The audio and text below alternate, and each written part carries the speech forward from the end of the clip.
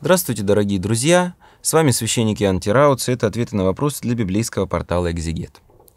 А, к нам поступил вопрос «Алчущие правды». О какой правде идет речь в заповеди, данной в э, Евангелии от Матфея, 5 главе, 6 стихе?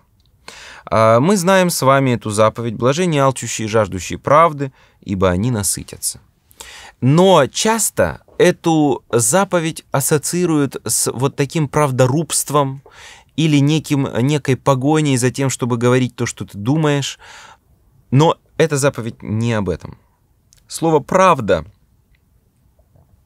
если мы посмотрим контекст греческого оригинала, э, ассоциируется со словом или больше переводится со словом «праведность», алчущие и жаждущие праведности.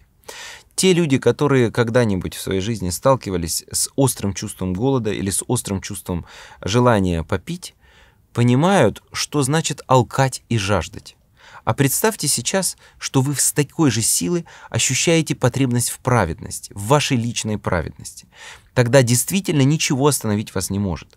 Ведь когда вы хотите пить или есть, вряд ли вы можете себе оправдать, что вы не поели и не попили, тем, что вы просто были слишком заняты или не хотели усложнять себе жизнь.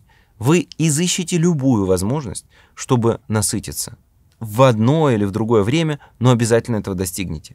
Так и здесь. А, отношение таковое к праведности, к личной праведности своей, является признаком здоровья а, нашего внутреннего состояния. Потом, а, слова блаженны, алчущие и жаждущие правды, Макариос, счастливы, говорит еще и о следующем.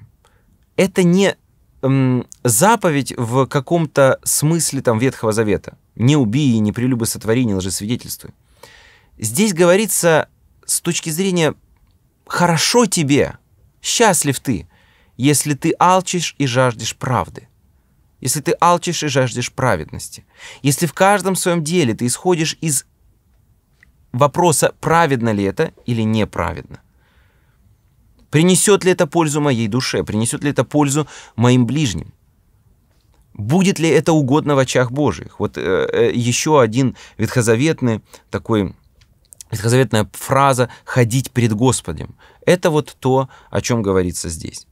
Поэтому я желаю всем нам, чтобы мы научились э, и приобрели эту добродетель э, жажды правды, жажды личной праведности.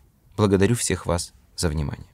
Внеси свой вклад, оцени, подпишись и поделись этим видео.